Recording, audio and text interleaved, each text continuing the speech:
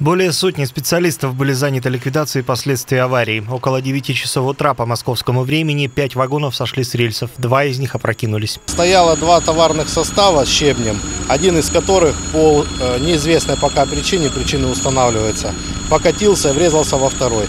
Э, Значит, э, сошло с рельсов пять вагонов с щебнем. Значит, по состоянию на 12 часов. Значит, ЖД пути от щебня освобождены. Сейчас ведется работа э, для того, чтобы вагоны эти убрать в сторону. В ход шла специальная техника. Перед этим вагоны освобождали от груза.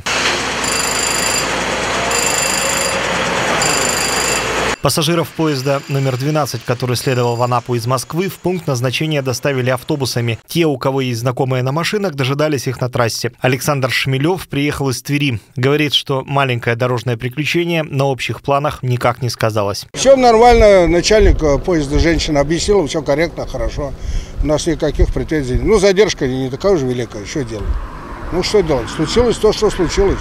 Поезда на участке пустили в час дня по московскому времени. По предварительной версии, которую озвучивает транспортная полиция, сход произошел из-за нарушений правил безопасности при заезде в тупиковый путь. Точная причина происшествия устанавливается, а железнодорожники подсчитывают ущерб, нанесенный инфраструктуре.